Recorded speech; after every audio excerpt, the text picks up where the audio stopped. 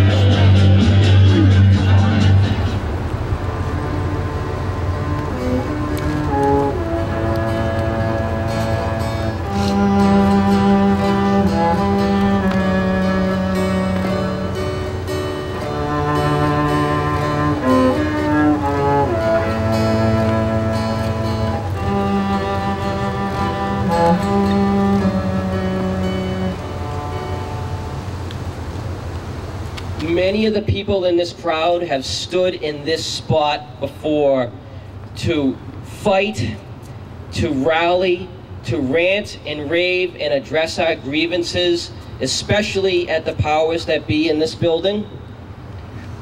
Very few of us have stood in this spot before to mourn. So we really don't know how to do it. Luckily, Dave left instructions.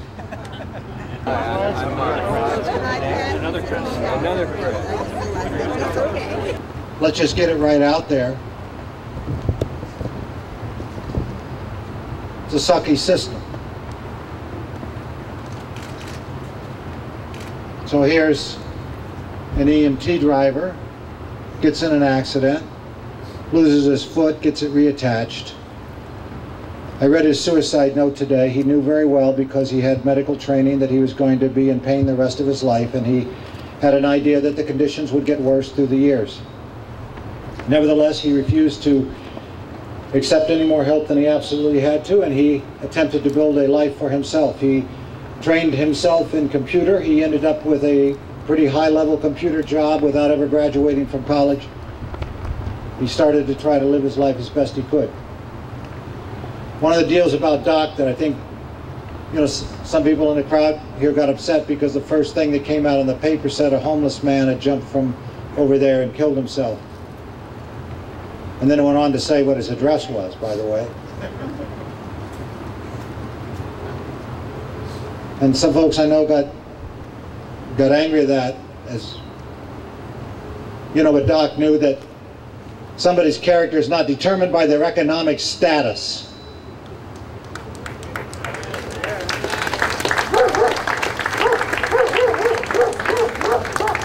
And I heard somebody say, wasn't like the others. He was educated. Really? Does anybody here need to be still under the illusion that somehow people that are smart or capable float naturally to the top of the system while everybody else floats down? Could we possibly get beyond that here, remembering, remembering Doc? Could we possibly understand that the system's upside down? And most Americans are within three weeks to three months from homelessness. And it takes a lost job or it takes an accident like Doc went through. Sometimes it takes a bounced check that then turns into about five or six bounced checks. You know what it was for Doc at the end? He couldn't get medical care. Do you know why he couldn't get medical care? Because he was in chronic pain from that accident, and you know that our pharmaceutical companies are drug dealers. And a person can get addicted very easily. He was on a pain contract. And what happened to him was after six years or however long, that's when the accident happened, however long he had, he had been on that pain contract, you know what happened to him? He got his, his monthly prescription and he lost it. Anybody here ever lost anything?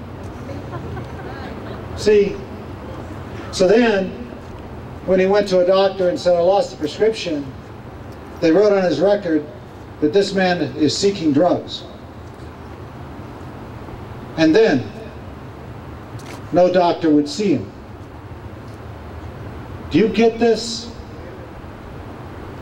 This is us, people. We want to pretend it's somebody else. This is our country, our system, our world. Doc was our window in to us. For some of us, he was a window in. For all of us, he was a window into love. I know he didn't act it out all the time. Some of you probably felt his wrath. He was a window into solidarity. You know what solidarity means? It means we give a damn about each other. It means we give a damn about what happens in this country and this world to anybody, no matter what nationality they are, no matter how much they're made an outsider. Think of the issues he was there on. Immigration, gay marriage, labor rights, poor people everywhere. Name some out. I'm missing some. Energy, domestic violence. Isn't this who we're supposed to be? I'm sorry, we all feel a little guilty here, don't we? Or at least those of us that were close, like, maybe we could have done more. Doc was very rational. He wasn't perfect. Can we get this out of the way? Because it's not just the system's fault. Would, would everybody that's perfect here, that's never made a mistake, never become alienated from your family, never had any problems, would you just raise your hand? That's what, that's what I thought. See how important it is? I will never forget the twinkle in his eyes when he had his church members come out out from under the church out into the streets with me. And I was very honored. And then the last thing, the last night I was with Dave, he gave me a ride home. And he spoke to me. He said, John, I am I am in so much pain. I I want to take my life. I didn't I didn't take him serious that night, and I just said, well, you know, um, doc, just hang in there, man, hang in there. He was an activist till the very end.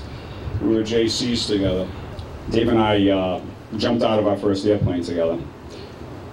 He was fearless. He really was. We, every time we did, we used to joke that, you know, this is the closest we're ever going to get to God. We know that there is not a thing that we possess that we wouldn't have traded to strap that chute on him for his last jump. Dave pushed us to do what was right and pushed us to reach out to others. And he, in his love for everyone, he was a guiding light. And I'm another one of those people who's gonna miss those big hugs on Sunday morning. And we shouldn't accept a system that creates those injustices. And we should fight with everything in us to change that system, to end that injustice. Homelessness is just one of the things that he fought for.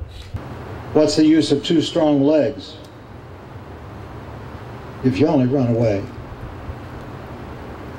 What good is the finest voice if you've nothing good to say? What good are strength and muscles if you only push and shove? What's the use of two good ears if you can't hear those you love? Between those who use their neighbors and those who use a cane, between those in constant power and those in constant pain, between those who run to evil and those who cannot run. Tell me which ones are the crippled? Which ones touch the sun? Our friend is gone, but he is not forgotten. And in whatever way you believe, is still with us. That is how it will be.